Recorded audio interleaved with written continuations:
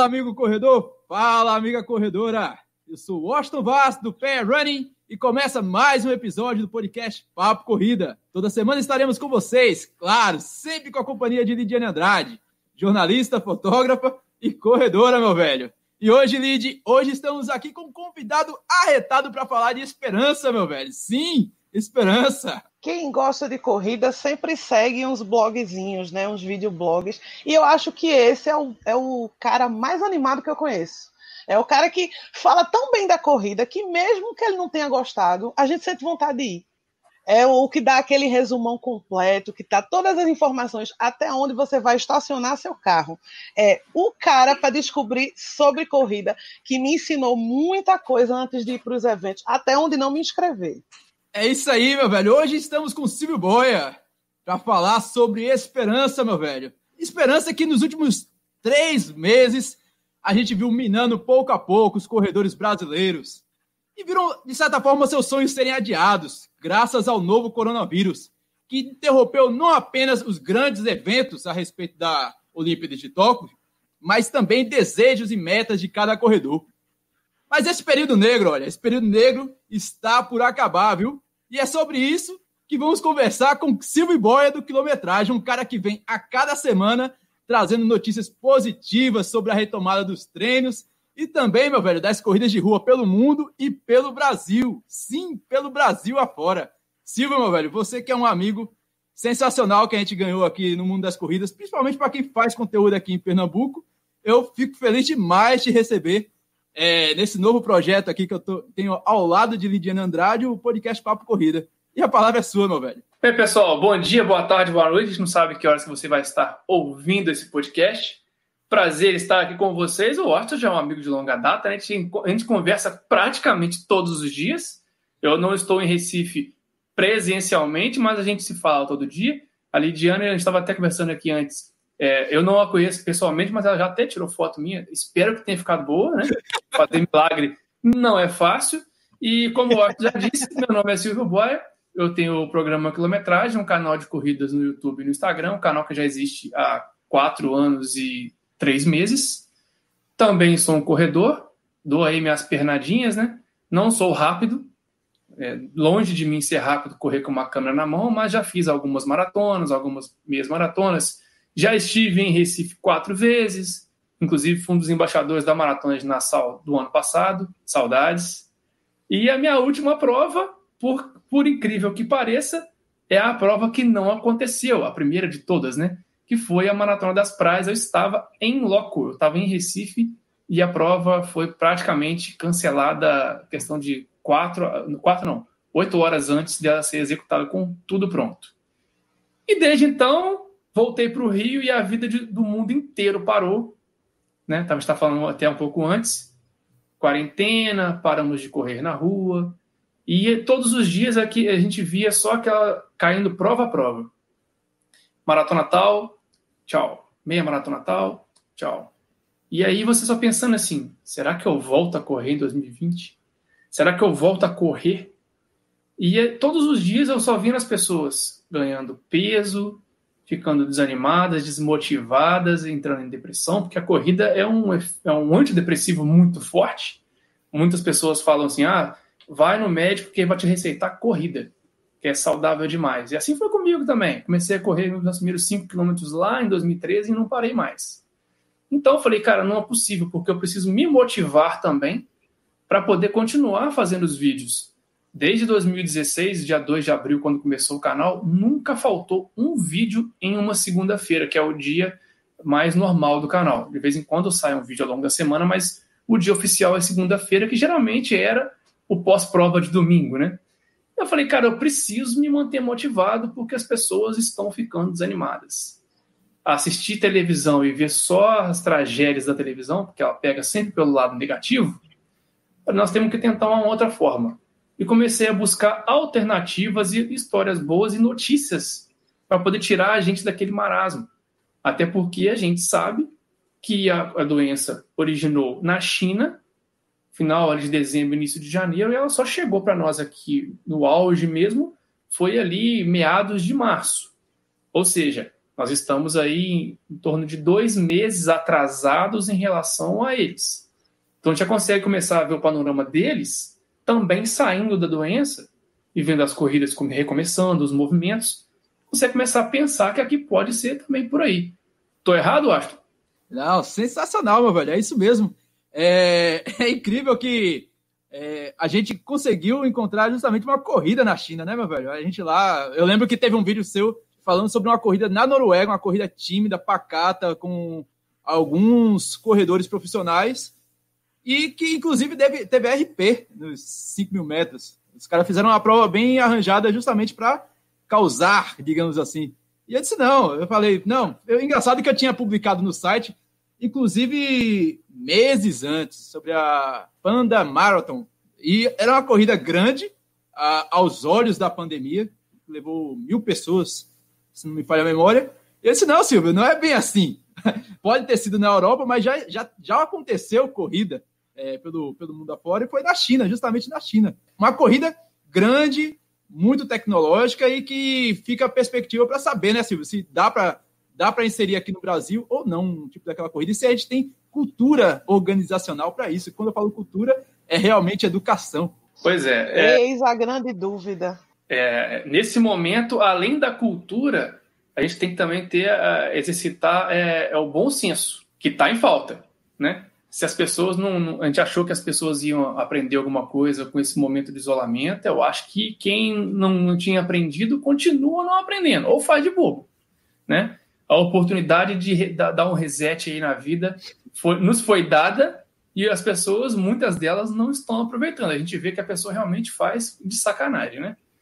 Mas aí eu, eu me vi numa situação ali de problema para poder gerar conteúdo. Todo mundo preso dentro de casa, e eu preso dentro do meu apartamento aqui no Rio, vendo o mar pela televisão, falei, como é que eu vou fazer? o que eu vou colocar? Vou ficar mostrando os meus treinos aqui na sala com a minha cachorrinha em maratona? É engraçado uma vez, mas duas, três não é. Satura, satura. Eu, eu também não fiquei dá. nessa situação até o ponto que eu disse, foi um momento realmente da gente se reinventar, né, Silvio? A verdade é Exato. essa. A gente, nesse panorama aí, a gente viu o maior exemplo para mim se chama Lula Holanda. O cara. O cara. o, cara o Lula, o Lula ele tem um exemplo é, incrível, porque ele, ele inicia o ano dele falando: ah, eu vou correr tantos quilômetros. E esse ano ele queria correr 3 mil quilômetros. A meta anual dele é: eu vou correr 3 mil quilômetros. Como ele vai fazer? Ele sempre faz lá a média dele, tem que correr X, X centenas de quilômetros por mês. Por mês, e, é. De repente apareceu a pandemia, ferrou a prova dele, a Maratona das Praias. Ele tinha todas as, todas as chances possíveis de cair em tristeza, é, depressão, mas não, velho. O Lula é incrível. É, a gente trouxe ele aqui no Papo Corrida. A gente conversou com ele semana passada no, no resenha de corrida, você estava junto. E ele é um cara que te incentiva, é um cara que te emociona e te mostra que há perspectivas além da, do caminho do senso comum.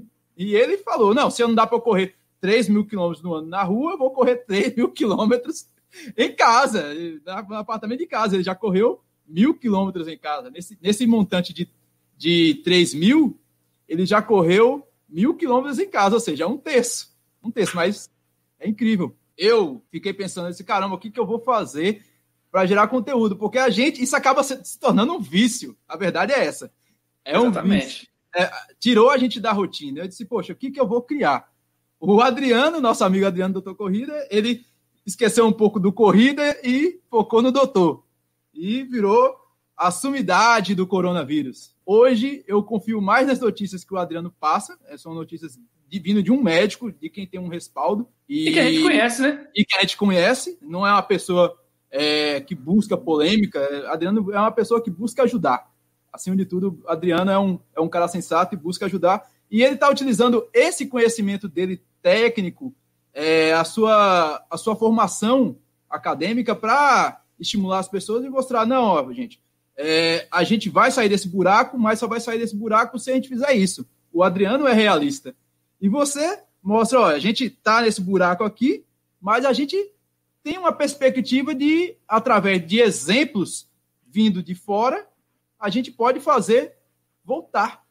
E, e essa foi o teu, o teu grande barato nesse momento. É, eu lembro que você estava fazendo um desafio e eu estava acompanhando, da mesma forma como eu acompanhei o Gustavo Maia com o projeto Fôlego, e foi emocionante o desfecho final. Eu disse: não, eu vou ver o Silvio fazer o sub 4 dele, eu quero acompanhar isso. E de repente parou, meu velho, parou. E como é que foi isso, Silvio? Parar o é. projeto do sub 4 e começar encontrar um outro caminho para transformar o quilometragem. É, no início de, de assim, o projeto apareceu no ano passado, quando eu acabei de fazer o desafio Cidade Maravilhosa, eu falei, não, beleza, tirei aí aquela zica de não ter completado a prova no ano 2018, que eu preocupei mais em cobrir a prova do que correr, e aí deu no que deu, né? Quase fui para a vala, passei muito mal, que as pessoas acham que é fácil correr com a câmera na mão. Não é, não é fácil. Não é fácil. Ainda mais da forma que eu gosto de fazer, que é mostrar as nuances da prova, conversar com todo mundo, mostrar visual, aquela coisa toda. E aí eu falei, não, beleza, 2019, foquei na prova, corri menos provas, cobri menos provas para poder focar no Silvio Corredor, que eu precisava mostrar que é possível. E depois disso eu falei, não, vamos pensar aí numa outra meta. Não, longe de mim pensar em correr Boston, não é o meu perfil. Para eu poder correr Boston, eu teria que fazer uma, uma maratona aí próxima a três horas, que não é possível nesse momento. Não digo nunca, mas nesse momento não é possível. Falei, não, vamos por partes acho que um sub 4 seria de bom tom. E aí comecei a trabalhar isso desde o final do ano, já preparando para o início do ano. Dia 2 de janeiro já iniciei o projeto. Falei, ó, começa hoje o projeto quilometragem sub 4 na Maratona do Rio. Escolhi a prova a dedo, porque além de ser o meu quintal, foi minha primeira maratona, tem uma ligação com a prova, fui o embaixador do ano passado da prova, um dos embaixadores. E como eu já sabia que o percurso ia ter uma ligeira alteração, Falei, cara, eu não preciso de ir a Porto Alegre para poder correr uma prova plana, rápida, aqui na, no meu quintal. Inclusive, eu queria mostrar que era possível correr uma prova rápida sem ter que ir a Porto Alegre, que geralmente é tendo, tido como frio. E a gente sabe que Porto Alegre também faz 40 graus. Né? Como o ano passado parece que não foi tão frio assim. E aí eu falei, cara, não é possível, né? Vamos pensar aqui, inclusive mostrar que o Rio tem aí, largando às 5 e meia da manhã, com esse percurso novo, é possível. Por que não? Ficar ali, ali a 3,59 e 59 é sub 4, tá dentro. Comecei o ano pensando nisso, baixando peso, fazendo tudo direitinho, orientação, treinos na Care Club, treinos com, focados na melhora da performance. E fomos até a Maratona das Praias assim. Mostrava todos os meus treinos, eu, eu não saía de casa sem a minha câmera. Todos os meus treinos eu fazia um compilado de vídeos e postava sempre nas segundas-feiras.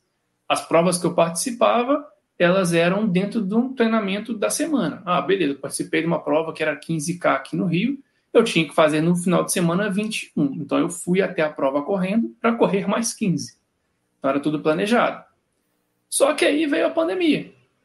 Falei, não cabe nesse momento ficar pensando em pa pausar isso lá em março, a gente não imaginava quando ia, as coisas acabaram. Falei, cara, não, não adianta eu pausar o, o projeto agora, como se eu tivesse com o mesmo peso, com tudo direitinho agora, com a minha rodagem alta, daqui a três, quatro meses eu voltar do ponto que eu parei. Não. Primeira coisa que eu falei foi, vamos ser sensatos e vamos parar o projeto.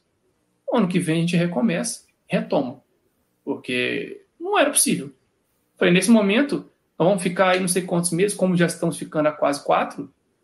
Falei, cara, é, eu seria muito inocente de pensar que eu conseguiria correr dentro de casa, correndo, fazendo treinos nas escadas, como eu estava fazendo aqui, e manter a minha performance, sendo que eu estava fazendo aí na semana, não conseguia fazer nem 20 quilômetros. Coisa que eu fazia num dia no auge das minhas rodagens. Falei, então, vamos manter as metas realistas para esse ano, que é se eu conseguir correr uma maratona, já estou muito feliz. Sem pretensão de tempo. É apenas completar para celebrar o ano de 2020 que nós conseguimos vencer a doença. Que eu acredito que a primeira maratona que acontecer é muito próximo disso, que nós conseguimos vencer essa doença. E aí, o ano que vem, a gente retoma esse projeto. Eu já, eu já consegui fazer metade dele, então já sei mais ou menos o caminho das pedras, já deu aquela ensaiada. E aí, falei, não, já sei como é que funciona. E foi esse foi o grande problema. Eu falei, não, vamos pausar. Acho que fui, foi uma decisão sensata, porque tinha muita gente, é, inclusive, todos os dias eu chegava um comentário assim: esse também é o meu objetivo. Vou correr com você na Maratona do Rio. Vamos largar juntos. Eu vou correr no seu rastro. Falei, cara, eu comecei a conversar com o pessoal da organização da maratona. Falei, olha só, vamos ter que fazer aí uma baia só pra galera do Sub 4. Que vai Baia boia. Baia boia. pois é. Falei, cara, é. já pensou? Largar, vamos fazer aqui, ó. horrível. Horrível, né? Falei, não, cara, vou fazer aqui. Tem a galera que quer, quer largar na Elite e tal. Vamos fazer aqui a turma que vai fazer o Sub 4. Por que não? Já pensou? A galera até gostou da ideia, falou, vamos, vamos pensar nisso sim. Mas era só uma brincadeira, né? Mas por que não? Porque a gente sempre pensa muito na maratona, o corredor normal, o corredor comum, o, o, o alvo dele sempre é o sub 4. Já estreou na maratona, já treinou, já entendeu como é que funciona. Opa, sub 4. Por isso que era um, uma meta muito comum. Muita gente estava comigo. Eu falei, não, eu como um corredor que falo para corredores, eu não posso dar um péssimo exemplo agora de deixar as pessoas se arriscando na rua ou tentando se matar dentro de casa, fazendo algo que não, não, não faz sentido nesse momento. E aí eu pausei o, o projeto, infelizmente.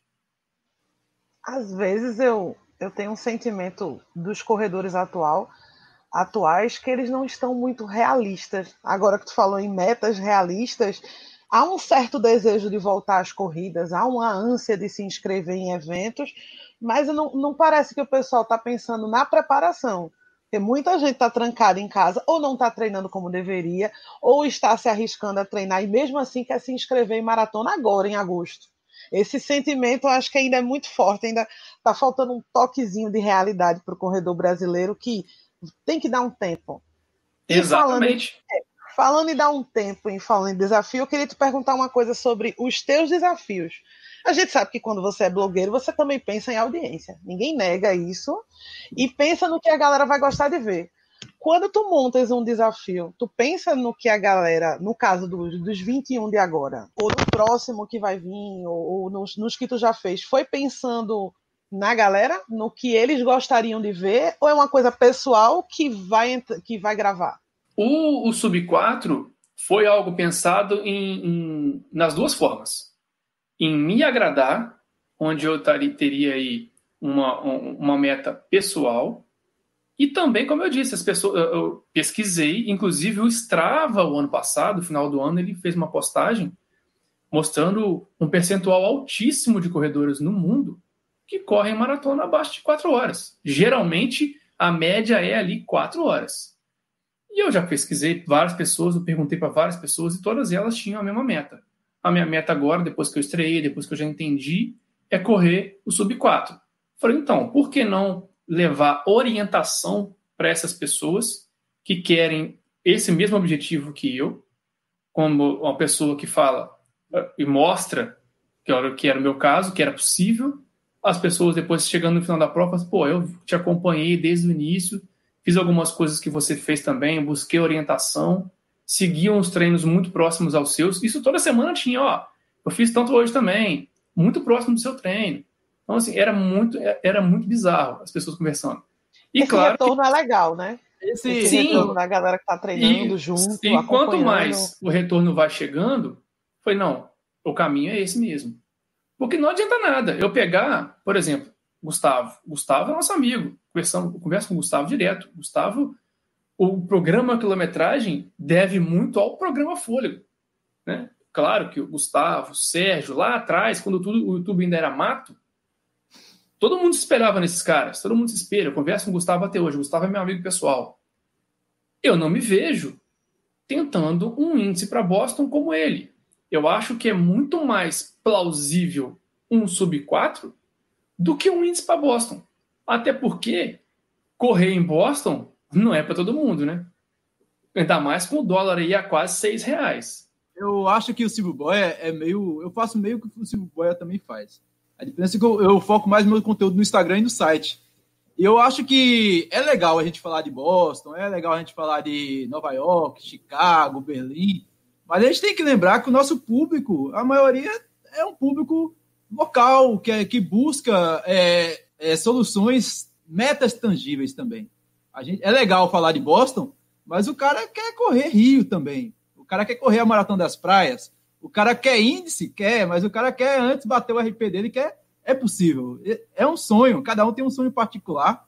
E, e o que eu mais admiro no Silvio Boia é buscar, tipo, ah, por que eu vou falar de Boston, sendo que eu posso falar sobre o meu sub 4 e, e transformar esse meu sub 4 em vários outros sub 4. E é. isso, ele, vê, vê, é algo, é algo legal, bacana e realista. Isso, isso é o mais sensacional. Por exemplo, eu tive uma, uma discussão um tempo atrás com um amigo nosso que achava que era importante falar sobre o Nike Alpha Fly. Falei, tudo bem. É, nós, como criadores de conteúdo de corrida, nós temos a obrigação de estarmos por dentro de tudo, ou pelo menos ouvir falar. Né? Só que eu falei, cara, não cabe, não cabe na minha cabeça eu divulgar um tênis que custa R$ 1.500 para a galera que de repente acha, como semana na o último review, inclusive eu já vou dar spoiler que eu vou gravar um review agora do Nimbus 22, um tênis de 800 reais. Assim que a gente acabar de gravar, que eu vou gravar esse vídeo que deve na segunda-feira. então, ah, não entra na minha cabeça. Preferido. É um tênis de 800 reais. Para mim já é caro.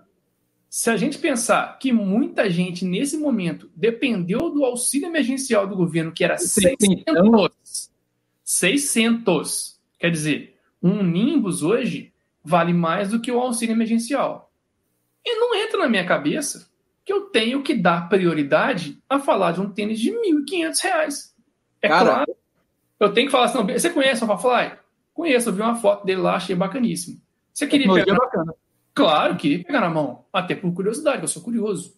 Você gostaria de testar um tênis desse? Gostaria. Claro que gostaria. Para fazer um review e mostrar assim, olha só, para você poder correr com tênis esse aqui, meu amigo, você tem que fazer é, é Chicago, é Boston, é isso que tem que fazer. Pra você correr aqui uma maratona das praias, você vai enfiar esse tênis na areia, você vai ficar lá. Não é para isso. Pois é. mostrar a realidade, entendeu? Acho que é muito por aí. E, e, e eu sou, eu, gente, eu vim numa cidade pequena. Outro dia que eu fui conhecer algumas marcas que hoje fazem parte do nosso cotidiano. Na minha cidade, New Balance, Skechers, não, nem se ouvia falar. O máximo que você ouvia falar era Nike, ASICS, Mizuno e Adidas, que são as grandes, as maiores de todas e tal, que nem são tão grandes mais assim nesse momento. Então, pra vocês terem uma ideia, não entra na minha cabeça. Foi, cara, não, não, nesse momento, eu não me vejo correndo Boston. E assim como eu, acredito que 95% da minha audiência não, é, nem conhece, nem sabe, vai saber que Boston é, sei lá. Ou, ou mudou de prioridade nesse momento de gastos, né? Ah, e, exatamente. E nesse momento, mais do que nunca, o BR, o verde e amarelo, tem que ser apoiado. Era isso que eu ia falar, meu velho. Eu, eu acho que esse é o melhor momento para se valorizar o, o, o, serviço nacional, o produto nacional. Ah, o pequeno eu, produtor, a lojinha eu, da esquina, exatamente. o blogueiro nacional, o blogueiro local. Essa discussão é complexa no, no meio jornalístico. Qual a obrigação e qual a função social do blogueiro? Porque ele não é comunicador social. Ele não é comunicador no sentido de não ter a formação de jornalista mas ele usa da mídia para falar do que ele quiser. Por consequência, o que a gente tem é uma série de estímulos ao consumo, sem a preocupação social do que é que tu está jogando para comprar. Silvio tem uma preocupação social de que estimular a, o desejo de um tênis de R$ 1.500, quando só pode gastar 300 num sapato, é complexo. Quando tu gasta 600 reais, num, num, você ganha 600 do auxílio emergencial durante cinco meses agora, né? Foi estendido para mais dois e você estimular a pessoa a continuar comprando tênis de 1.500, 2.000 e sonhar com Boston quando ela talvez não pague uma inscrição de 50 reais na sua cidade, é complicado é um momento de, como vocês falaram, de reinvenção também para o comunicador de corrida, o avulso, que não, não, não, nunca se preocupou no que ele diz, porque agora ele está sendo mais ouvido, agora tem mais gente em casa, gente procurando soluções para os problemas de corrida dele e que buscam apoio também psicológico. Quem está vendo os vídeos está pensando no que vai. E se Silvio está dizendo que por o tempo todo ele precisa de um tênis de dois mil reais, há aquela vontade que ele não vai poder controlar. Agora, quando o blogueiro entende que ele pode mudar o pensamento da pessoa e ajudar de alguma forma a aliviar o fato dele não poder comprar nada, é uma coisa muito legal. Eu acho Mas... que essa mudança era necessária e já está acontecendo. Eu vi, não, eu vi em outros canais as pessoas mudando a forma de mostrar produtos ou não mostrando por esse período. Não vamos fazer resenha, não vamos fazer nada, porque vamos só falar de treinar em casa, que é barato e gratuito. Mas esse é o papel do formador de opinião, sempre foi. É, eu acho que agora está mais latente isso. Porque não tem lógica eu, eu mostrar, esbanjar algo que não tem no momento, não tem corrida. Então, eu me preocupei bastante de criar conteúdos. É, eu voltei a, a, a mostrar meus treinos na rua agora. Eu estava treinando na rua. É, mas dentro da lei, cabe salientar, vale salientar isso, dentro da lei. Aqui, eu não sei eu não sei a realidade do Silvio aí no Rio de Janeiro, mas tirando o período de quarentena, é, não era proibido correr na rua. A realidade do Silvio é bem mais tensa do que a da gente no Rio de Janeiro, é viu? É, é, bem mais complicada. Então, é, hoje, fala-se, ó, você pode correr, mas com máscara. Eu estou correndo com máscara. Hoje, até o. Engraçado que hoje, até o presidente da Federação Pernambucana de Atletismo, ele veio perguntar para mim. Ele viu o vídeo que eu fiz lá em treino que eu fiz com Sandra, lá em Tracunhaém, no interior, e eu estava com a máscara. E o vídeo mostra lá eu correndo com a máscara, boa parte do, do percurso. Eu só tirei a máscara justamente para falar, porque a máscara estava úmida. Ele aí, Washington, como foi o uso da máscara? E eu simplesmente falei, professor, a máscara é obrigatória, está no decreto, ela não abre exceção, o decreto estadual. Então, o que, eu, que cabe a mim é utilizar e eu me adaptar. Usar a máscara bem. hoje usar a máscara hoje é como você reaprender a correr. Eu, quando comecei a correr, eu não comecei a correr 5 km. Eu comecei a caminhar para depois correr um quilômetro e ficar feliz com isso. Então, para eu voltar a correr com máscara, eu refiz todo esse caminho. O Silvio hoje é um dos protagonistas justamente por isso. O Silvio mostra o simples, o claro e dá perspectiva a isso. E você, você consegue enxergar isso, Silvio? É, essa tua. Cara, você está dando hoje até live para poder público, meu velho. Eu acompanhei a tua live na. Eu fiquei no, assustado. No Mato Grosso do Sul. eu fiquei é assustado. Eu falei, cara, eu não converso com o governo do meu estado, que é em Minas. Fico sabendo algumas coisas do governo do estado aqui do Rio, que está bem conturbado, para variar. E aí eu fui buscar um lá no Mato Grosso do Sul, cara. E os caras falaram comigo assim: ó, assim que puder, nós queremos você aqui. Olha que bacana, você ver que realmente o de fora é que tem valor, né? Mas a, a questão do papel do influenciador, eu detesto, eu detesto que me chame de influenciador. Falei, cara, eu não sou influenciador. Eu sou uma pessoa que está mostrando alguma coisa que tem aqui. Eu, ó, A gente tem que responder o estilo pernambucano. Aceita que dói menos. Pois é, mas assim, aí já falaram assim, não, mas você está influenciando positivamente e tal. Falei, olha só, é porque, igual, é, são duas palavras que são hoje em dia é, pejorativas. É o influenciador e o blogueiro. Já dá aquele arrepio, já fala assim, nossa senhora da parecida, cara. Não é isso assim não, cara, calma aí. É porque eu acho que as pessoas uh, usam errado, né? Porque a última edição do Big Brother, a profissão das pessoas era blogueiro. Era é. digital influencer. Aí essa foi aí, aí mudou, ficou mais bonito, digital influencer. Não, agora calma, que eu, não, peraí, é agora assim, eu não. particularmente, a, a, o que eu gostei dessa pandemia, tudo tem um lado positivo na vida. É, tô, no, tô, no, tô no nível do sorriso de Silvio. Vamos rir, que tem coisa boa coisa boa para sorrir. E uma coisa que eu gostei dessa parte de comunicação da pandemia é a autorregulação dos blogueiros. Não existe legislação para blogueiragem. Não existe. Você fala do que você quiser, como você quiser, mas a preocupação de vocês dois, por exemplo, em passar um conteúdo ou positivo, ou correto, ou buscar informação, isso é autorregulação. Porque enquanto jornalista, é, a, a, regra diz, a Constituição diz que você precisa separar conteúdo publicitário de, de comunicação de forma clara, que a pessoa entenda. Na blogueiragem não tem isso. A gente pode ver Felipe Neto rico com blogueiragem desse estilo. E os blogueiros de, é, de certos setores, principalmente os de, de esportes, eles se autorregularam, criaram a consciência de que eu vou falar o que é verdade, eu vou buscar informação que é verdade. Isso eu achei legal. É um legado que vai durar. Até porque hoje está todo mundo com a cara na tela. Então é muito fácil você ser desmascarado. Por exemplo, quando eu falei dos vídeos. Esse último vídeo agora foi um exemplo claro. me perguntaram qual maratona que está liberada para 14 mil atletas. Eu estava no vídeo, vai lá ver. Porque chegou no ouvido de um organizador grande de corrida que eu estava falando que a maratona dele estava confirmada. A pessoa não tinha nem assistido o vídeo. O, a, o título do vídeo é Liberada Maratona para 14 mil atletas. Não falei qual, não falei onde. Agora eu posso falar. Ele já se encaixou no evento, né? Aí já mandou um áudio pro organizador. Você, assim, fulano, tal de Silvio daquele negócio de quilometragem tá falando que a sua prova vai acontecer. Você tá sabendo? Aí ele pegou, ele já me conhece, eu já tinha mandado o vídeo para ele, porque eu já falei assim, cara, ó, os caras estão fazendo lá fora. Fica ligado aí, vai que você consegue também aqui. Mas eu falei com ele. Aí logo em seguida ele falou assim, ó, assiste o vídeo. Aí logo depois veio a mesma pessoa, mandou o áudio para ele de novo. Ah, fulano, ele falou que é a maratona de Hamburgo. Aí quer dizer.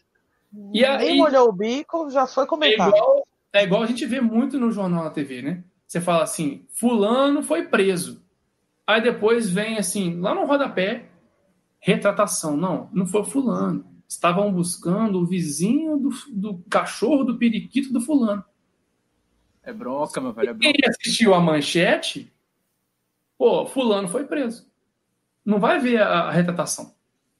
Se, se, se, isso, se, isso, chega no ouvido do organizador, porque hoje, nós como é, blogueiros de corrida, nós como corredores que têm canal, nós temos uma boa relação com os organizadores de corrida. Até porque nós corremos as provas deles e é interesse mútuo. Se eu tiver uma, se chegar no ouvido de um cara desse que eu tô falando besteira, o cara não vai nunca mais me convidar para correr uma prova, ou o cara vai falar assim: "Não, esse cara é um mentiroso". É rápido. Oportunista. É, coisa é rápido. É pequeno demais, é, é rápido. rápido. Ô, Silvio. Então, assim, hoje tá todo mundo com a cara na tela, todo mundo sabe. Essa que é, é.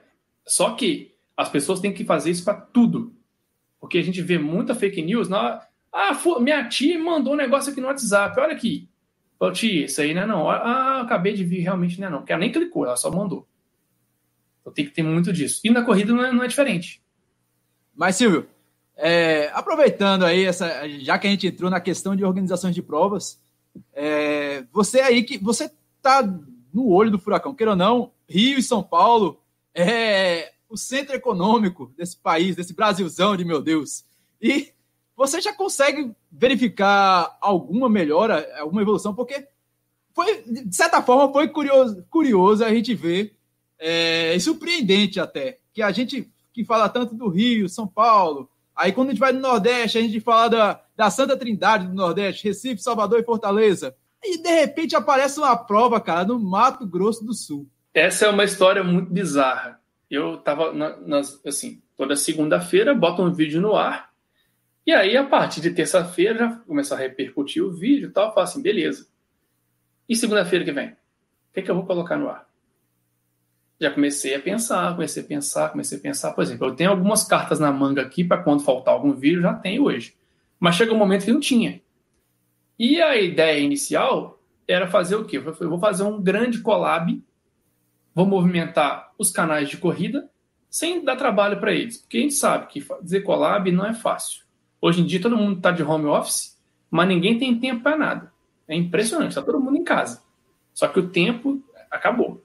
Falei, cara, vou pedir o Washington para gravar um vídeo para mim, falando dois minutos sobre as corridas de Recife.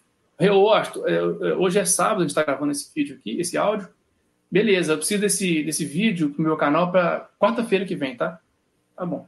Chega quarta-feira que vem, eu acho que gravou. Ah, não gravei, não. É um saco. um saco.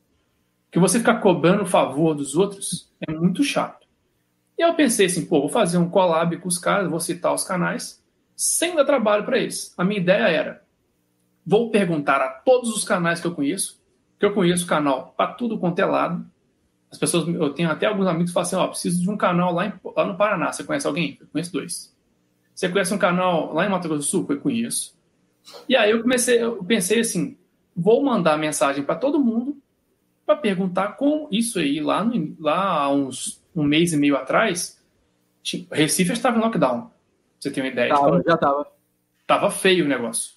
Eu falei assim, cara, vou, quero que responda o seguinte: é, como está a corrida na sua cidade e se vocês e como está os treinos na rua.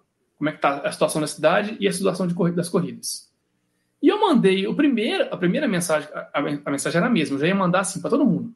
Mandar para vocês aí do Recife, vocês quatro do Recife, ia mandar para todo mundo de São Paulo, ia mandar para todo mundo. Quem me respondesse, eu ia falar no vídeo, ó, por exemplo, eu ia perguntar para o Washington, não ia perguntar de Recife, claro. Eu falei assim, Washington, como é que está a situação no interior do estado? Eu sei que você tem muita facilidade de descobrir isso. E aí a gente conseguiu mapear o Brasil praticamente inteiro num vídeo.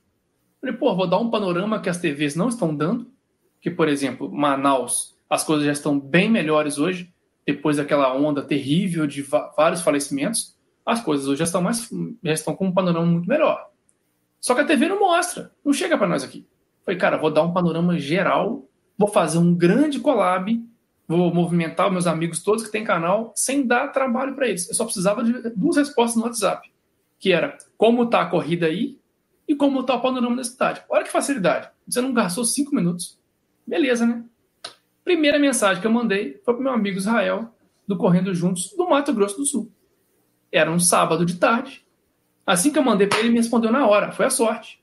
Que eu já ia mandar para vocês já que assim que eu mandar para você, depois caiu a pauta. Como é que eu vou explicar depois que caiu? Falei, não caiu. E aí ele respondeu assim: pô, cara, aqui as coisas já estão bem melhores. Inclusive, vai ter uma corrida aqui segunda-feira. Falei, como é que é? É, vai ter uma corrida aqui segunda-feira. Falei, não, não, não, não. Você tá de brincadeira comigo. Isso não existe, não é virtual, não. Falando corrida presencial. Não, não. Presencial. Falei, então me explica como é que vai funcionar. Me mandou um site já abriu o site e já começou a mandar um monte de áudio. Falou, ó, aqui vai acontecer, a corrida chama Corrida Digital. Estamos falando da grandíssima Campo Grande, capital do Mato Grosso do Sul. Olha onde está o Mato Grosso do Sul em relação aos grandes centros de corrida. E lá tem muita corrida. Muita. Corrida e provas de bike, porque é a área do Pantanal. Exploraram muita a situação turística lá. Que a galera nem fica sabendo. Tem provas lindíssimas, eu fico babando porque esse amigo que eu conheço, eu converso com ele. E aí ele falou: ó, a prova vai, vai acontecer aqui. Se você quiser, eu já fiz isso para ele aqui, já fez vários collabs. Se você quiser, eu não vou gravar pro meu canal, não, porque o meu canal agora tá muito voltado para bike. Mas eu vou lá amanhã, largada às seis da manhã, e faço uma chamada para você. Ele é jornalista, trabalha com TV e tem uma GoPro. Olha que facilidade. Eu falei, cara, não preciso nem dar roteiro para ele. Ele fez o vídeo, me mandou. Aí esse vídeo atrasou, porque eu, eu antes colocava os vídeos segunda-feira, 19h30. Eu deixava os vídeos subindo em casa, no, na internet, que era horrível. Eu chegava em casa do trabalho, estava pronto, botava no ar. Só que as coisas melhoraram com a internet com o passar do tempo. Eu consigo colocar o vídeo 10 e meia da manhã, 10 15 Falei, não, esse vai atrasar. Porque ele vai gravar para mim na segunda-feira, seis e pouca, que aqui no nosso caso é sete e pouca, porque lá em Campo Grande é uma hora de diferença. E eu vou começar a editar esse vídeo para poder renderizar para subir. O vídeo entrou no ar meio-dia e meia. Eu consegui furar, inclusive, a TV Record, que era uma das organizadoras da prova. Porque como o vídeo entrou meio-dia e vinte aqui, lá era 11h20. E eles não tinham material decupado ainda para colocar no ar. Só quem correu. Deixou a galera chateada, viu? E os caras. Não, mas no fim das contas, eles até gostaram. E aí, esse meu amigo foi lá, gravou, me mandou o material, me explicou como é que funcionava. Então, assim, para quem não, não, não tá entendendo nada, a corrida chama Corrida Digital. Era uma prova. Gente, a prova foi feita para dar prejuízo, tá? É, já, já é sabido, tá? Mas, quem que entrou apoiando essa iniciativa? O governo do estado do Mato Grosso, por isso eu participei da live com eles depois lá, e a TV Record local, que é a TV afiliada da Record lá de Campo Grande. Com alguns patrocinadores locais, o que, que eles fizeram? É como se fosse em Recife, lá na Praça do Marco Zero, eles montaram um pórtico lá numa praça de Campo Grande, com staff, com ambulância, com banheiro químico, estrutura de corrida. E aí você tinha um percurso de 2,5 km de ida, fazia um retorno na praça e voltava. Percurso todo cheio de câmera, então, assim, você não vai fazer uma prova dessa, você vai querer furar a parada, né? É muita macarotice, né? E aí você pagava 80 reais na inscrição, eram apenas 300 atletas, E como é que funcionou essa corrida? Um formato inovador, onde você ia para a corrida como você vai no salão de beleza, você marcava hora. Por isso que a prova deu prejuízo, porque eles ficaram praticamente lá de plantão da segunda-feira às seis da manhã até o, o dia, final do dia às oito da noite. De uma segunda-feira até o domingo. Pensa, para poder ficar bem espaçado. Então, praticamente, se aconteceu de correr um corredor, foi um indo e um voltando. Foi o máximo que encontrou. Então, eles for, é como, a, a grosso modo, a gente pode dizer que foi uma corrida virtual presencial, digamos assim. Porque você tinha você passava pelo porte, você tinha chip, você tinha toda a estrutura de uma corrida, só que era você contra você. Tinha kit, a entrega do kit foi drive-thru, no kit vinha máscara, álcool em gel, e com o apoio maciço do governo do estado, que naquela situação era o, o último estado com o número de, de casos da doença, e a TV, que também queria se, se promover.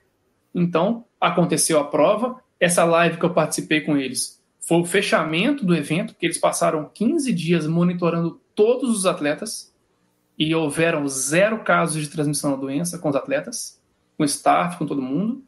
Já querem, outros estados interessaram com o formato, entraram em contato com eles para poder fazer. Então, assim, nesse momento, os organizadores têm que se virar. Quando a gente viu o boom das corridas virtuais, esses, essas pessoas foram para o outro lado. Ah, mas você correria essa prova? Por que não? Ah, mas eu gosto de aglomeração. Mas não pode. Você vai ficar sem correr? Ou vai correr virtual? Aí na virtual, a gente vê uma outra vertente. Por exemplo, o que a gente estava falando antes. O máximo de quilômetros que eu estou fazendo hoje na semana, isso hoje, voltando a correr na rua, eu não chego a. Estou chegando aí a 20 e poucos quilômetros na semana.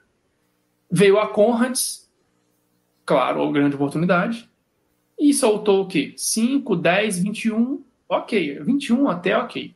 45 e 90. Conheço pessoas que não estavam treinando nem para 21, se inscreveram por 90, correram e estão achando que fizeram um excelente negócio, só que em, em sei lá quantas horas, mais 10 horas.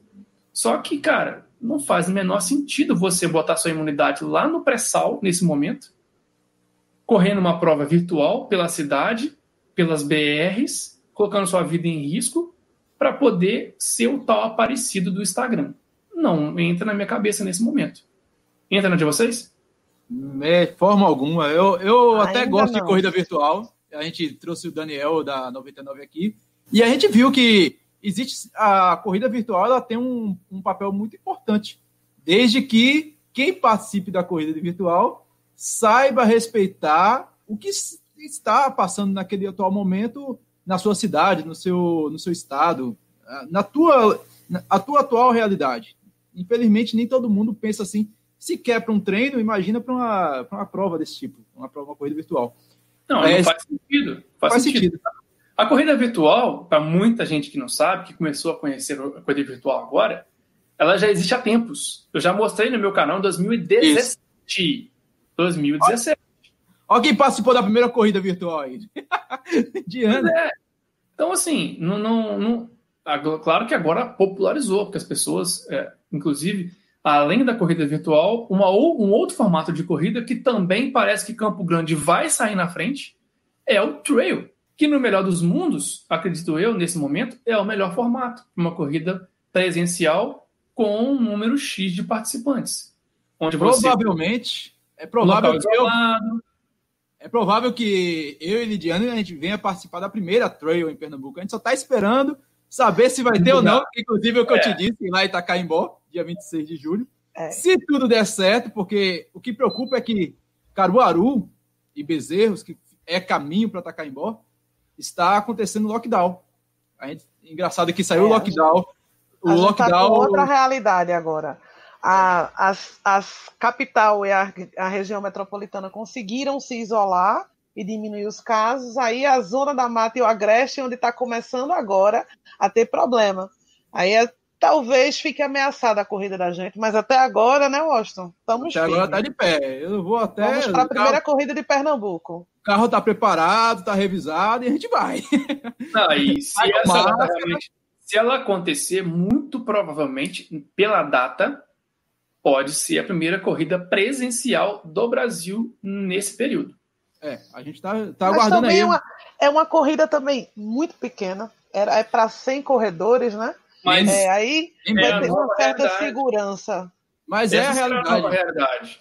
Se a gente for pensar, eu tenho aqui, a galera não tá vendo, mas eu tenho atrás de mim aqui algumas provas, inclusive eu já participei de uma maratona trail onde nós largamos 80 pessoas. Não, não era onda, era a prova. Eu larguei com mais 79 pessoas para correr 42K. Já corri provas de 21 com no máximo 200. Nós vamos pensar, a prova trail ela tem essa particularidade. Pouquíssimas provas são muito populares. Por exemplo, um formato muito popular é o X-Terra, que a, acontece muito na região sudeste. Já teve algumas provas na região norte, região nordeste, mas aí são provas pequenas que são geralmente 700, 600, 500 no máximo atletas correndo uma prova de 5, 7, 10, 12 quilômetros. Na sua maioria, de 21 para frente, é 200 malucos, 150, porque geralmente são provas que têm um grau de dificuldade um pouco elevado. São pessoas que dependem de carregar mochila, aí depende de ter um tênis apropriado. E você, a gente acabou de falar de um tênis de 800 reais. Você vai ter que comprar mais um tênis só para correr trilha? É mais um gasto. É uma mochila. Uma mochila não é barato. Você fazer umas provas trail, você tem que viajar. E é, e é muito por isso que as provas têm menos população correndo, né? E pode ser a grande saída nesse momento. Por quê?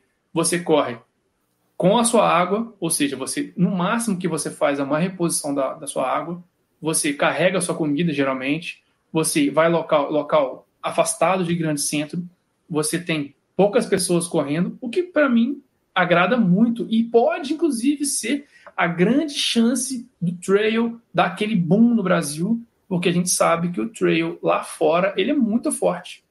Eu estava vendo a primeira ultramaratona trail que teve nos Estados Unidos, num dos vídeos que eu fiz com o collab do Washington, que me deu algumas dicas de algumas provas, essa aí eu achei e falei, não, aqui, Washington, esse aqui também. Uma das provas lá, eles tinham 21, 45 e 70 também. A menor prova, a prova que tinha menos participantes deles, qual vocês acham que foi? Eu acho que é de 21, porque de quem 21? vai para fazer, foi quem vai para fazer uma coisa difícil, que faça logo difícil arrasando. Se a gente fosse pensar na realidade brasileira, seria que teria maior número de participantes. É. Por exemplo, essa prova que é. eu estou falando é a Tutan. A Tutan foi a sua primeira edição. Ela teve 80 participantes nos 42K, que entre as, maior, as outras distâncias era, a, entre aspas, a prova de criança, que era o meu caso. Né? Tinha a prova de 75 quilômetros, que teve aí uns 40 malucos, e teve a prova de 100, que teve uns 20. Gente, 80, 40, 20. É muita diferença aproveitando, você aí, a gente fez praticamente, você, você é o cara, mas é, acompanhamos aí provas, Hamburgo, o Hamburgo que a mulher pensou que era no Rio, é. Fargo, cara, Fargo, prova na Noruega, prova na China, é, eu tinha encontrado uma, uma prova no Japão chamada Maratona do Sorriso, que embora é, não falando seja, semana passada, né?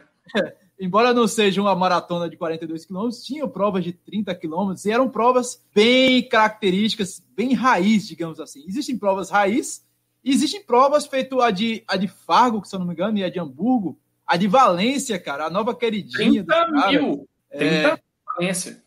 Dá para acompanhar essas provas? A pergunta que eu faço, eu, eu tenho, eu tenho minha, a minha opinião a respeito disso, eu quero ver se a tua opinião bate com a minha. Dá para a gente ter, tirar perspectivas dessas provas que estão acontecendo, principalmente as principais, Valência, Hamburgo, Fargo. Fargo agora é a queridinha nos Estados Unidos. É, é. Nova York foi cancelada, Boston foi cancelada, duas majors foi cancelada. E a turma, ó, tem ali, ó, lá em Dakota, tem uma tal de Fargo, meu velho. E aí? Dá para tirar algum exemplo dessas provas para aplicar na nossa realidade? Porque Tá, os caras estão diminuindo. Lá, enquanto lá estava começando, a gente, meu Deus, mil pessoas morreram na Itália, mil pessoas morreram na Espanha, mil pessoas morreram no Reino Unido. E hoje a gente acha uma coisa tão normal morrer mil pessoas em Pernambuco. A gente chegou a 5 mil pessoas, 5 mil óbitos em Pernambuco aqui e o pessoal ainda não se tocou muito bem nisso. Mas dá para a gente tirar uma realidade, ficar, ó, vamos acompanhar essas provas aqui para ver se dá para aplicar aqui e a gente, quem sabe, correr a corrida das pontes do Recife, que acabou de ser adiada, que iria acontecer no dia 26 de julho. E quando eu falo da corrida das pontes do Recife, é porque é a maior prova em Pernambuco não é a Maratona Maurício Nassau, ainda é a Corrida das Pontes do Recife. 7 mil brincando, 7 mil inscritos brincando. E colocando ali com a turma da pipoca, dá 9, 10 mil brincando, meu velho. É uma prova que a gente pode ter um parâmetro para ver se será que vai acontecer mesmo em dezembro, no dia 13 de dezembro, que é a nova data. É, dá para confiar nessas provas que estão acontecendo no exterior? Depende. Depende de vários fatores. Por exemplo, é o que eu disse é, nós temos a grande oportunidade, de novo, de ver o que eles estão fazendo lá e nos preparar aqui. Por exemplo, quando a pandemia estava pegando na Europa, não estava ainda pegando aqui. Então a gente tinha uma oportunidade aí de um mês e meio, um mês, para nos preparar, porque a gente sabia que ia vir. O que, que os governos tinham que ter feito? Pô, o hospital de campanha que estar tá pronto. Nós estamos vendo a realidade totalmente diferente. Aqui no Rio, hospitais de campanha não foram nem entregues estão sendo desmontados. Porque não vai nem ser preciso acabar de entregar, porque o dinheiro já foi gasto, as pessoas, infelizmente, precisaram e não tiveram atendimento, morreram, e agora a curva está caindo. Mas está caindo porque né, já chegou o que tinha que chegar. Agora, nós temos a oportunidade de ver os erros que eles vão cometer e não cometer os mesmos erros aqui. É claro que, assim como tem a Corrida das Pontes em Recife, nós falamos no mesmo final de semana da Maratona das Praias, tinha aqui no Rio o circuito das estações, que aí em Recife eu sei que também tem muita gente. Aqui no Rio tinham três distâncias nessa prova, 5, 10 e 21, acredite, tem 21 estações aqui no Rio. E nós falamos. A gente, a gente ia ter pela primeira vez esse ano. 13. Não. E é, o circuito das estações ia fazer algo bem inovador, digamos assim, porque a turma fala, pô, só correr quatro quatro é. corridas no ano, mesmo é. percurso.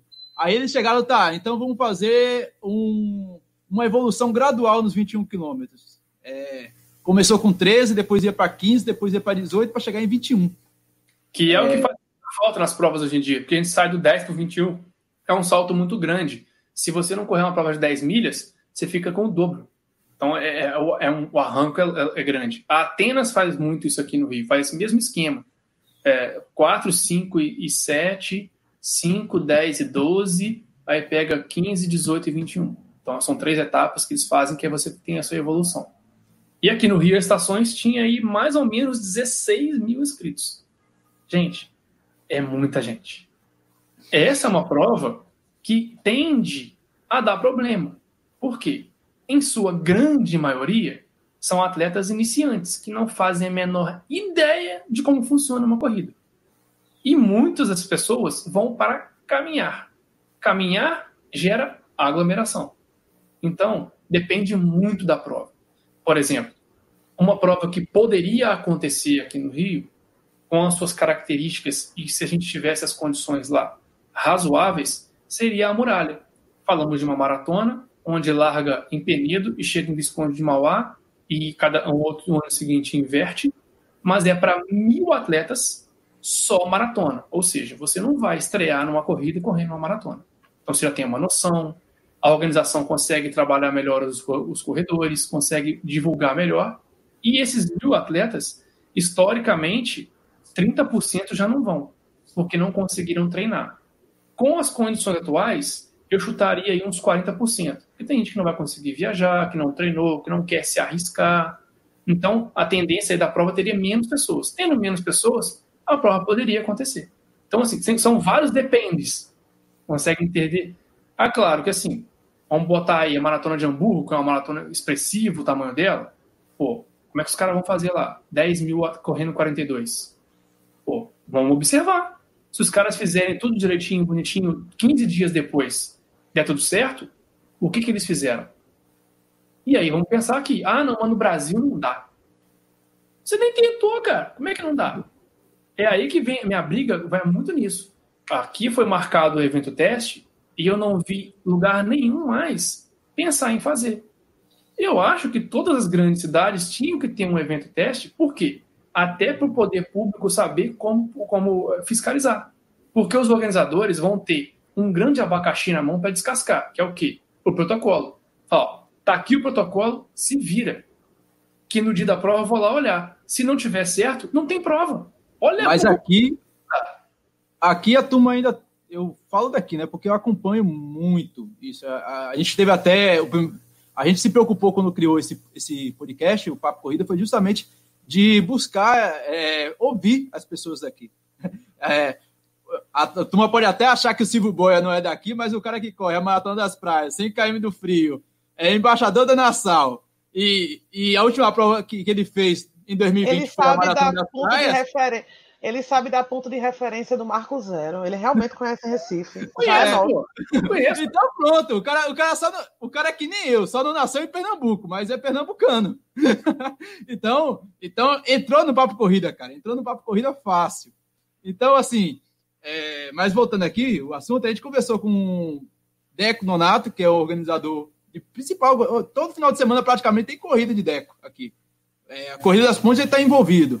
É, a meia maratona FPS está envolvido. A maratona Maurício Nassau está envolvido. Então, as principais provas passam pelo Deco, seja por organização, seja por montar a estrutura.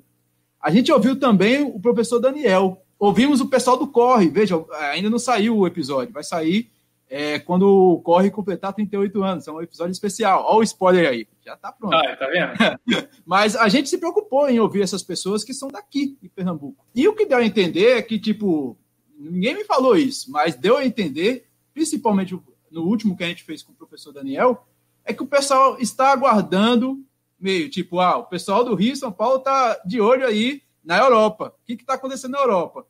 E a gente aqui em Pernambuco está aguardando, tipo, o que, que o pessoal está fazendo no Rio e São Paulo? É, ninguém quer é, colocar a marca, o seu nome, e dar algo errado e sobrar judicialmente para esses caras. Porque é um risco é, alto, é um né? Risco. Se a gente for observar que a gente não, a gente faz uma prova, veja, eu vou dar um exemplo. A gente fez uma prova, a gente teve uma prova. Eu acho que aí no Rio de Janeiro teve no Maracanã. Cross Urbano Caixa. Era uma prova que acontecia dentro da estrutura, não é no arredor, dentro da estrutura da Arena de Pernambuco. Você passa, você largava na entrada da arena, passava pelas arquibancadas, corredor, área de imprensa, era, era um negócio fantástico. Você fazia um tour pela arena. Passeava e lá. passeava. E olha, é uma estrutura particular que teve pipoca. Você tinha como controlar o pipoca e teve pipoca. Como Imagina, é que pode? Não sei, mas teve. Eu estava lá, eu conferi. Teve, eu fiz, tem até o vídeo lá no houver canal. um espaço, uma, um, um local que esqueceram uma grade, uma falta de fiscal, o Recifense vai dar um jeito. Vai, vê, é isso, é isso. É, ninguém. É, é, o ponto é, você não pode. Ah, você não pode ter aglomeração. Você vai fazer largadas por zonas. É, você vai limitar, limitar. Se é 300, é 300. Se é 200, é 200. Se é 1.000, é 1.000. É, como é que você vai criar essa segurança, essa proteção com um corredor pipoca? E para quem vai sobrar isso? O organizador? Aí os caras não querem, os caras não, os cara não querem é, colocar o nome agora. O pipoca, nesse caso, como os organizadores vão querer cercar de todos os lados os, os riscos, o pipoca, que sempre foi um problema financeiro para a prova, vai passar nesse momento a ser um problema de saúde pública. É. E a pessoa, quando a gente fala, a pessoa assusta, porque é para assustar mesmo. O que, meu amigo, se você é pipoca, ah, mas as provas agora tendem a ficar mais caras. Você já pensou pelo lado do cara que vai ter que botar termômetro para tudo quanto é lado, vai ter que botar um monte de coisa? Ou é assim, ou não tem prova. Ah, não, mas cara, eu não vou. Então, meu amigo, infelizmente, você não vai poder ir nesse momento. Aguarda as coisas acalmarem e os preços voltarem ao normal. Agora, só porque você, infelizmente, não tem condições nesse momento de pagar uma inscrição que seria o dobro do preço Aí você vai, porque a rua é pública, a gente sabe que não é. Nesse momento da prova, a rua é paga, né? o espaço é pago. Você quer correr? Corre para o outro lado, cara. Você não vai pegar medalha. Você não vai fazer nada. O que você vai fazer lá? Então não tem que ir. Tem que ser radical. Tem que... Quem sabe o bom senso, falando de forma dura, a pessoa entende. Né? Porque você vai botar em risco um, todo um planejamento, inclusive, você vai botar em risco o seu esporte. Por quê? Vamos botar o seguinte: tá todo mundo de olho no evento teste que vai ter aqui no Rio. Inclusive, eu acredito que organizadores de outros estados poderiam estar aqui para ver. Tinham que estar aqui para poder ver. Porque nesse momento, todo mundo tem que dar a mão. Com espaço, claro, né? Não né? Mas aí, é o seguinte: se você é um pipoca e participa dessa prova, que é uma prova que é para testar o protocolo, e você vai, e por sua causa o evento dá errado, meu amigo, você acabou com o esporte no ano. Olha só, por causa da sua teimosia, por causa do seu. Ah, porque a rua é pública, você colocou em risco, você de repente não sabia que estava contaminado, contaminou alguém, alguém foi lá e pegou a doença. 15 dias depois se viu que foi no evento, acabou por causa de um pipoca, que pode ser um problema. Então, nesse momento, gente, é, é muito importante. Ah, mas pipoca, ah, mas não sei o quê. Gente, é saúde pública, tá? Vamos pensar desse lado. Você não tem que estar tá ali. Se você tem a intenção das corridas voltarem a ser nos preços normais, as vacinas têm que ser descobertas, têm que ser aplicadas, e até então, as provas têm que acontecer. Porque, gente, 3 bilhões de reais é o valor que o mercado de corrida movimenta no Brasil. Olha a quantidade de gente que depende disso. Eu não estou falando isso porque eu sou A ou sou B. Infelizmente, quando você fala de alguma situação dessa, você acaba entrando no meio político. Não. Nós, nós conhecemos a realidade de várias pessoas. Bom, não precisa de falar das provas. Personal trainers, treinadores. E aí? São os caras mais próximos de nós pessoal que vende camisa, vende medalha, que entrega, o, galera do staff. Eu participei no último domingo de uma live, inclusive acho que vai ter amanhã de novo, uma live para poder arrecadar fundos para a galera dos staffs de São Paulo, Rio. Que os caras contam, porque tem tanta prova no final de semana, que já conta como um emprego. E não tem mais. Então, aí de repente, o cara que vai de pipoca bota em risco a estrutura e acaba de ferrar com a vida de todo mundo. Então, assim, é, você não é, não, ninguém é obrigado a nada. Acho que é muito por aí. Eu estou torcendo muito para o evento dar certo. Eu estarei lá para gravar, para fiscalizar, para ajudar a divulgar. E ele dando certo, eu acho que ele tem que ser repetido e replicado para todo lado. Para todo mundo entender como é que funciona. Porque tá todo mundo falando assim: ah, mas no Brasil não vai funcionar. Mas você nem viu. A gente acabou de ver que uma corrida no Brasil funcionou lá em Campo Grande. E até então ninguém tinha feito. Até ninguém fazer, não ia dar certo. Ah, corrida virtual, ninguém se inscreve. Gente, tá, você tropeça em corrida virtual. Então é muito mais fácil você falar sentado do seu sofá que não vai dar certo do que você falar assim: ah, realmente não deu certo, não, cara. O negócio lá não deu certo.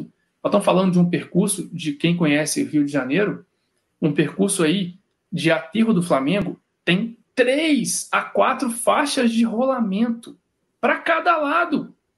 Sabe qual é a chance de aglomerar 500 pessoas correndo um percurso de 5 km? Mínima. A gente viu com estranhamento a maratona de São Paulo ser cancelada muito por isso. O percurso da maratona de São Paulo passa pelo centro histórico de São Paulo. Que quem conhece o centro histórico de São Paulo sabe que são ruas que passam um, no máximo dois carros. Você imagina a quantidade de gente aglomerando ia dar merda. Claro que assim, foi muito estranho a data que eles deram essa notícia. No dia que o prefeito falou que as coisas iam começar a abrir, o cara vai e fala que cancelou a prova. Não sei, acho que foi excesso de zelo. Mas tomou essa decisão pensando também financeiramente. Os organizadores, eu não gostaria de ser organizador de prova em 2020. É, complicado. Tá muito difícil pro lado dos caras. Tá muito eu, difícil. Eu estou aguardando ansiosamente a notícia do meu amigo Bruninho, do Bora Correr Galera. Ele que é o embaixador da, da Maratona Internacional Maurício Nassau. Eu, eu estou chutando, eu estou chutando, estou chutando não. E baseado no meu, no meu conhecimento, eu acredito que a Maratona Internacional Maurício Nassau não vai acontecer. Eu estou aguardando a notícia de Bruninho, é? mas... A gente tem outros problemas né? em relação a é. Recife, é. ao Rio de Janeiro. A gente tem um espaço reduzido de permissão para correr, a gente tem, um, tem outros problemas também de, de costume do próprio corredor. Ah, enquanto em outros países já é normal você pegar o próprio copo de hidratação, aqui a gente ainda tem uma pessoa que te entrega água, isso vai ter que ser resolvido. Não, Sim. o nosso clima também é de beber muita água na corrida, apesar de que a gente sabe que não precisar beber tanto, mas é um costume do, do corredor pernambucano de jogar água na cabeça e tomar, né, Washington? Exatamente. Toda, a cada eu, ponto de hidratação eu, a gente gasta umas três águas. Eu sou uma pessoa que me hidrato bastante, eu tomo banho também, e eu vou, assim, é, eu, eu acredito, eu, tô, eu quero queimar a minha língua, eu quero queimar a minha língua. Eu estou aguardando ansiosamente o Bruninho anunciar essa semana, é, esse, esse, podcast, quarta-feira agora, no dia, no dia 8, 8, 8, de, 8 de julho, eu acredito que o Bruninho deve dar, ou antes ou depois disso. Eu quero queimar minha língua, quero que aconteça a Maratona Internacional Maurício Nassau. Mas diante dos prognósticos, diante do que está acontecendo, o cenário que a gente tem e o tempo Enquanto que a gente tem até 2020. É, eu acredito que não aconteça em 2020. Ela pode ser adiada. Ela pode ser adiada para 2021. Para vocês terem ideia, como é que as coisas estão loucas, a, a, a muralha, quando eu falei que a prova estava pensando se ia ter ou não, muita gente falando assim: é um absurdo a prova acontecer nesse momento. E eu vi comentário de gente falando assim: se tiver vaga, eu vou. Gente, você não vai conseguir agradar ninguém. Não vai. Não vai eu perguntei isso, eu perguntei isso, velho, lá no Instagram e, e bombou. Eu disse, cara, se, se acontecer uma prova hoje, uma guerra. Eu, eu separei o Grande Recife, Pernambuco, entre quem quer corrida e quem não quer. E, e algumas brigando, você só está pensando no seu umbigo, não sei o que e tal. Mas, poxa. É, eis, é, que, é... eis que ter corrida não quer dizer que você vá. Tá? Exato. É, tem Exato. essa grande diferença que as pessoas. Eu vejo muitas postagens no Instagram de outros, é, de outros perfis dizendo a mesma coisa. Se tiver corrida, você se arriscaria em ir? Se você acha que é um risco, você não vai. Exato. É se você se for um risco, você não vai, gente. E é muito. Lula, é o maior exemplo disso. É. Lula tá correndo em casa. Ele falou: ó, se você quer correr fora de casa, corre. Eu estou dentro do grupo de risco e não vou botar a minha vida em risco. Está correndo em casa. Está correndo em casa. E é muito simples. Assim, a gente está vendo aí vários movimentos das corridas adiando as provas, que é o lógico. Inclusive, tem uma medida provisória explicando como é que funcionam as coisas. As pessoas não sabem que existe isso, né? Infelizmente, não sabem. A gente está vendo o movimento de provas adiando, adiando e tal. Só que, assim, se uma prova pegar e falar assim, é, vamos botar aqui é a Nassau. Nassau está com a inscrição aberta e seria semana que vem. Aí a Nassau pega e fala assim: ó, a prova vai acontecer. Para quem quiser. Quem não quiser, é 2021. Acabou. Você está tendo a opção de correr ou não correr. Aí você Sim. correr e tá puto com quem vai correr. Não, não pode ser assim. Você já tomou sua decisão. Nesse momento, é o que eu tô falando, é o bom senso. Se a prova tem 5 mil, 2.500 vão correr o ano que vem, 2.500 vão correr esse ano, cabe à prova saber se essa estrutura paga a prova. Se a estrutura para 5 mil rodar para 2.500 pagar a prova, para eles é melhor ainda. Tem metade das pessoas. A chance da prova acontecer é muito maior. Concorda? Porque tem menos gente, tem menos aglomeração. Só Oi. que as pessoas gostam de ir para o Instagram reclamar. Um grande exemplo disso é o ano passado. Eu fui um dos administradores da Maratona do Rio a Maratona do Rio, ela historicamente nos últimos 6, 7 anos, a camisa era laranja. Só que laranja era a cor do patrocinador rival da Caixa. Poucas pessoas sabem disso. A Caixa nunca gostou de ver a camisa estampado Caixa na cor laranja. Laranja é Itaú, não é Caixa. Só que aí, com a virada do ano, a, caixa, a, a, prova já tinha mudado os planos, falando assim, ó, vamos dar uma oxigenada aqui, vai mudar tudo. Virou um grande evento de corrida, virou um, é, um tanto que tem o desafio, tem a maratoninha, não sei o quê, vamos dar uma oxigenada, vamos mudar a cara da prova. E aí mudou-se a camisa para azul. Só que nesse meio tempo, entrou um novo presidente que tirou a caixa de tudo. E a coitada da Cozan que entrou para salvar as corridas do Brasil, que muita gente não sabe, que muitas provas sem a COSAN não iriam acontecer, tomou porrada de todos os lados. Porque os caras ficaram putos que a camisa mudou de laranja para azul. Toda a postagem da maratona era um tal de postar um monte de laranjinha enchendo o saco. Era uma dor de cabeça. Postava as informações importantes, vinham uns mala comentando com um monte de laranjinha, laranjal, não sei o quê. Medalha, a medalha, postaram a medalha. Todos os movimentos da maratona tomamos porrada. Todos. Eu fui um dos embaixadores, eu posso dizer, eu apanhei demais. Falei assim, cara, que furada que eu entrei. Que furada. Aí, um monte de gente falando assim: se a camisa for azul, eu não vou correr a prova. Estou repassando a minha inscrição agora. Foi então você é um tremendo idiota, porque você não vai, vai deixar de correr uma prova por causa da camisa. Muita gente nem usa camisa na prova. Você vai deixar de correr a prova por causa da camisa? Faz uma camisa laranja. Um monte de gente fez. Aí o muito engraçado é que muitas pessoas que falaram que não iam estavam alinhadas para largar na prova, postaram foto depois com a camisa azul e beijando a medalha. Ou seja, o, um dos maiores esportes do corredor de rua é reclamar. Né? Nesse momento, então, meus amigos, momento de reflexão. Corre quem quer. Vamos ser duros. Vamos ser criticados por isso? Vamos. Pode, pode vir para minha conta. Corre quem quer. Mas é, é isso. Ninguém é obrigado a correr e ninguém é obrigado a não correr. A prova vai dar a oportunidade. Se ela achar que é viável economicamente para ela, mesmo com as condições atuais, não estamos falando de prova agora em julho, gente. Estamos falando de prova para quando o momento permitir. Claro que ninguém é maluco. Né? Aí vamos lá. Quando o momento permitir, pode fazer a prova, você vai querer correr? Se, é o que o Lidiane falou. Você vai se arriscar? Já acabou aí. Não é se arriscar. Se a prova te der segurança de que você não vai ter risco, ok. Concordo que a prova pode ter. Agora, se a prova fosse, por exemplo, no epicentro da, da, da crise aqui no Brasil hoje, que é São Paulo, vocês correriam uma prova em São Paulo hoje? Eu acredito que de forma alguma, cara. Eu, primeiro, primeiro o cara tem que se preocupar com a saúde. Eu mas... correria. Eu não sei, eu não sei, eu acho que não. Ah, Agora, eu tô com uma vontade danada de correr, eu tô, velho. Tanto que eu vou pra Tacaembó. Dia 26 não, eu de julho. Penso, eu sabendo eu que lá no interior tá, já tá, o bicho tá pegando. Ó, Mas eu... seria, seria meio arriscado. Eu acho que a gente tá falando de uma. Não é somente de uma corrida. Quando o Silvio fala assim, ir para São Paulo, eu lembro que no meio de São Paulo tem um aeroporto. Exatamente o Aeroporto Internacional dos Guararapes é o maior, é um, é um dos maiores do, do mundo, de questão de Bom, segurança, qualidade. Esqueci do é, avião. Se eu não tivesse um que avião, pegar um avião, Exatamente. eu iria. Se você morasse em São Paulo, okay, eu iria. Realidade. Pra Tacaembó, eu vou no meu carro, pô. Você teria que pegar um metrô ou ir de carro. Agora, o meu caso aqui, eu estou no Rio, ou vocês que estão em Recife. Pegou um avião, já é arriscado. Infelizmente. É isso que, é, que vai é acontecer. Isso. Por exemplo, a Maratona do Rio. Até segunda ordem está confirmada. Vem gente do Brasil e do mundo. Nós estamos vendo um movimento contrário.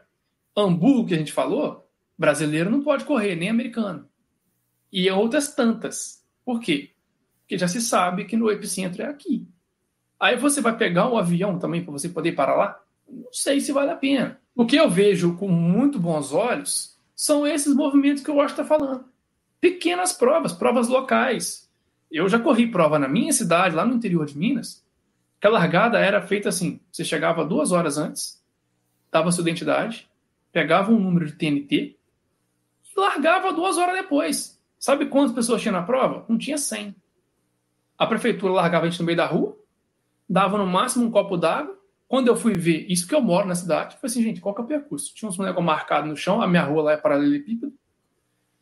Um carro na frente, puxando a elite, cercando a rua. E eu tava lá para trás, que eu já falei que eu não sou rápido. Falei, cara, olha que doideira. Então, ah, assim, são Você tá provas. Tá falando... Esse tipo de prova pode acontecer? Pode, é uma prova local. Por quê? Porque vai dar pouca gente. Só que aí é um outro problema. São as provas pequenas que vai falar assim: opa, vai ter corrida tal vai todo mundo querer ir. Aí vai Meu ter amigo. que. Ah. É bronca. É todo, é, como eu tava brincando com você um dia desse, você falou do campeonato carioca. Esse meu é. amigo, qualquer, qualquer América e Bangu hoje é Barcelona e Real Madrid, bicho. Exatamente. Então, todo mundo é vai querer participar. A Cicorre agora. A Cicorre da gente aqui vai virar uma Majors. todo mundo vai querer correr a Cicorre. A corrida do meu amigo Tita lá em Carpina, eu ontem estava conversando com, com o Gilson, um grande amigo que eu tenho lá da, de Carpina, e o Gilson, quando vai ter corrida em Carpina? Eu, Lidiane sabe, tem corrida no interior, eu vou. Eu não quero saber se tem 50 pessoas, se tem 100, se tem 200, se tem 300. Eu quero mostrar um outro lado que a turma não conhece. A turma só. Às vezes o pessoal. E não é por maldade. É, eu fui assim uma vez. É e achar que conhecimento. Vai, de só, é, é, por isso que é por isso que existe o Pernambuco Running, não é por conta disso.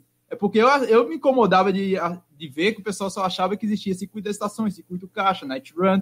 Mas depois que eu descobri a Cicorre, eu, eu vi que também tem provas no interior. E eu acho que o meu propósito é mais este: de mostrar que há corridas fora da, da região metropolitana, há corridas fora dos grandes circuitos.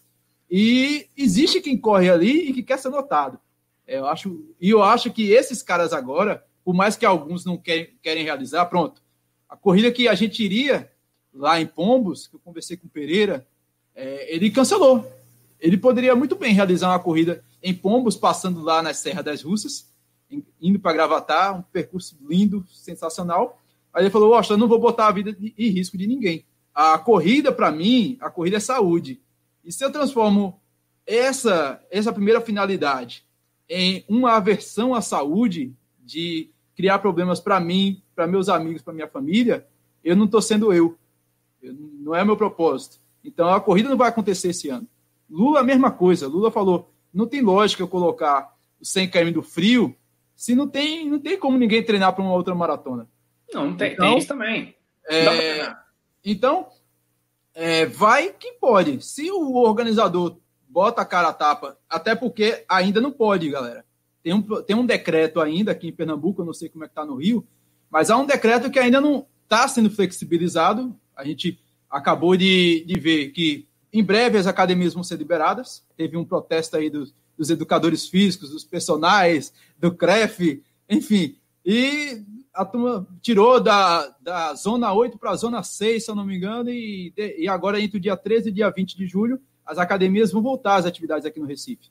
É, essa semana iniciou as atividades orientadas é, das assessorias, onde um educador físico tomava conta de um atleta, de um aluno. E por aí vai tá indo, mas enquanto isso não tem corrida. A gente só vai ter corrida quando o governo assim determinar, olha, pode aglomeração de eventos a partir de 100, 50, 200, 300. E isso o organizador, como o Silvio Boia bem disse, ele vai dizer, vou fazer ou não, vale a pena ou não. E o, isso cabe ao, ao corredor de rua ter senso crítico também. Eu estou apto a participar de um evento desse, sabendo que não tem vacina. É, eu quero, eu tenho condições. É, é, algo que cabe a cada um. Não é somente o organizador, não é somente o, o presidente da federação, é o corredor também, cara. É o corredor. Enfim. E tem um outro detalhe. Para você poder ter uma prova, uma cidade, poder público tem que aprovar. Exatamente. Muito simples. Ó, eu bato no peito aqui e faço, não, eu vou fazer a prova. Só que eu chego lá, a prefeitura ou o governo do estado fala assim, ó, eu não vou deixar. É simples assim. É simples. Por quê? Se ela aprovar, ela, é, ela também está tá na, na, parada. Mas não podemos esquecer que esse é um ano emblemático. Eleições. É um, eleitoral, é um ano eleitoral. E municipais. Muitas, muitas cidades não querem nem ouvir falar de corrida. Ah, é, é evento? Não, 2021. Se o cara não tiver pensando que é uma plataforma política, o esporte, ou porque ele não vai concorrer para a reeleição, beleza. Agora, se ele falar assim, não, eu não vou arriscar a minha candidatura. É simples assim. Ah, não é porque ele é bonzinho, que não vai deixar ter corrida. Não, é porque ele não quer arriscar. Porque se ele bota uma corrida e aprova uma corrida hoje, pode sair tudo certo ou não. Se ele fizer um evento do nada, sem protocolo, sem nada, sem testar as coisas, sem divulgar e sem é, educar as pessoas, porque tem que educar. Um protocolo hoje para executar uma corrida tem um monte de coisa. brasileiro já não lê regulamento. Então vai ter que ler protocolo vai ter que saber. Vai ter que fazer teste, vai ter que fazer medição de temperatura, fazer um monte de coisa. Vai ter que chegar mais cedo. Você não, é inimaginável rodar uma prova hoje de maratona de cara. Primeira prova que eu imagino que tem no Brasil é um 5K e olha lá. Para ver como é que vai ser. Porque também você não vai se arriscar e meter as caras numa maratona do nada, né? A não ser que você já esteja treinando ou você seja um privilegiado de ter uma esteira em casa. Que muita gente está com esteira em casa. Aí é outra parada. É outra situação. Então, assim, a gente não pode esquecer que não é simplesmente porque o organizador falou que vai. Igual, eu fiz um vídeo na semana passada e falei de várias provas trail que estavam confirmadas ou para confirmar no Brasil. Uma delas, a reunião era no dia seguinte, que era de pipa, 21K de pipa. Que não foi confirmado, porque o poder público não aprovou. É simples assim. Seria no você dia 25 no site. Você pode botar no site, pode botar no Instagram, pode fazer botar na rádio, na TV, o que você quiser. Ó, prova vai ser dia tal. Se o poder público falar que não, você gastou dinheiro com divulgação. Você deu esperança para as pessoas e não vai acontecer. Eu venho dando esperança para as pessoas de mostrar o outro lado, que as provas podem acontecer, não só não se vive só de cancelamentos e adiamentos, mas eu não sou maluco de falar assim, os caras vão fazer e, e, e, se virem. Não, meus amigos, eu também sou corredor, também tenho família. Não, não é assim, não, eu não sou imune, não. Até porque eu acredito eu que não peguei a doença ainda. Então eu posso pegar, eu não posso contar com o meu histórico de atleta, né? é isso aí, meu velho. E Lidiane, a gente, a gente vai chegando no fim de mais um episódio Papo Corrida. O que, que você achou desse papo aí, hein? Será que, será que, Olha, a gente já ouviu o organizador de corrida, a gente já ouviu o presidente da federação, a gente já ouviu corredores macaco velhos e agora a gente ouve um cara que traz a esperança, meu velho. Eu tô me, eu tô me sentindo aqui no programa Silvio Santos, A Porta da Esperança. Porta da Esperança. O cara chegou e abriu, escancarou aqui e eu já estou com vontade de correr. A verdade é essa. Eu, quando eu assisti ao vídeo do Silvio sobre a corrida na Noruega, eu tive uma grande esperança da gente ter uma desse tipo. Mas eu ainda. Eu, eu participaria, mas eu ainda acho que, como equivale a um cuidado individual e escolhas individuais, é muito complicado. Você tem que escolher não se aglomerar, você tem que escolher diminuir seu pace para ficar longe da galera, tem que escolher usar a máscara, levar seu próprio álcool gel não tocar em nada. Tem uma série de, de autocuidados que requer ter um evento que, infelizmente, a gente está provando pela quantidade de pessoas contaminadas e a quantidade de mortes que a gente não tem. Porque, no fundo, se você parar para falar de uma forma simplista da, da Covid-19, é lavar as mãos. É lavar as mãos e usar máscara. Se a gente chegou a 62 mil mortes hoje 62.300 no dia que a gente está gravando isso, é sinal que a gente não sabe fazer. E ter um evento que lhe, pro, lhe proporciona muitos momentos que você não pode não ter cuidado, que você vai falar com as pessoas, dar uma tapinha no ombro, que eu adoro dar uma tapinha no ombro em quem está passando por mim, ou em que, e as pessoas adoram falar comigo quando me vêm de costas. Se a gente vai fazer isso e tirar o suor do rosto, já é difícil. É uma educação que a gente não tem ainda. É, é melhor esperar. É melhor ter paciência e... e ficar feliz que Silvio vai mostrar pra gente um monte de vídeo legal que tá acontecendo, pra gente ir se organizando. É isso aí, meu velho. Você esqueceu de uma coisa aí que eu sinto bastante falta. Abraço, meu velho. Porque eu, é. eu, eu, saio, eu saio da corrida com. Eu, eu perco as contas, velho. As, as selfies, os abraços, é, os sorrisos que a gente compartilha durante as corridas. Isso aí a gente abraça as pessoas, falta. né? A gente abraça as pessoas, aí a pessoa diz que não quer te abraçar porque tá suado. Aí não, você, não, não mas suor de corredor pode. Aí imagine isso num cenário de corrida. É uma reeducação Sim. que a gente precisa ter. Não precisa de longe, não. Abraço até dá, mas durante a prova você bate a mão na mão do colega, fala, vem comigo e puxa. É fogo. É, é algo a se pensar e eu, eu acredito que estava conversando hoje, inclusive, com o professor Daniel, quando ele falou, Washington, qual foi a sensação de você correr de máscara? Eu digo, cara, eu, eu estou correndo porque isso é, é para o meu bem próprio. Isso está determinado por lei. Mas eu espero que seja uma breve passagem das nossas vidas. Que a gente use, mostre lá uma foto lá para os meus netos. Ah, pô, ó, vovô, por que você estava correndo com esse pano na cara? Ah, meu filho, a história é tão longa, senta aqui. é bronca, meu amigo. Mas, Silvio Boia, cara, eu agradeço demais, meu velho. Se fosse por mim, a gente passava aqui as horas e horas conversando, mas para subir isso no podcast ia demorar um pouquinho, meu velho. Ah, com certeza. É, o que eu tenho para dizer, meus amigos, é o seguinte: a única certeza é nós vamos voltar a correr. Se é mês que vem, se é só o ano que vem, daqui a seis meses a gente volta para bater um papo de novo e falar assim: ó, é, foi só o ano que vem mesmo. Então, ó, rapaz, o negócio melhorou aqui, foi em outubro, foi em novembro. Então, assim, a minha, a minha função é manter os corredores ativos, treinando seja de qual forma for, porque eu vejo todo formato que foi feito, lançado para manter o corredor ativo, eu acho válido. Eu acho válido a corrida virtual, achei válido a corrida, a corrida digital, achei válido o desafio na escada, achei válido o desafio do Strava, eu acho válido, como foi o meu caso, que eu descobri aqui no meu prédio, escada, descobri terraço e descobri subsolo do meu prédio correndo ali entre um, um, ambiente não muito bom, que é alguns ratinhos e baratinhas ali, né? Mas dava o meu jeito. Eu vejo muita gente correndo ó, em volta dos quarteirões, vejo gente correndo em ruas mais desertas, mais cedo. Tudo é válido para manter a saúde em dia e aguardar o momento propício para voltarmos às corridas. Todo mundo está doido para correr. Eu estou doido para anunciar. Teve a primeira corrida presencial no formato tradicional no Brasil mas eu não vou ser doido de falar assim, a corrida que eu falei aqui teve 1.500 casos. Então não, não vai não vai abrilhantar o evento. Então vamos ter calma, vamos fazer o nosso, a nossa parte, vamos manter nossos cuidados no dia a dia. Quando for possível, não nos arriscar, aí sim, acredito eu que as provas vão voltar a acontecer. Muita gente tem falado comigo, ah, mas se não puder abraçar, se não puder encontrar, se não puder falar, eu não vou correr. Então, meu, meu amigo, nesse momento, se o formato da prova permite ser desse jeito, eu sinto muito que você não vai correr.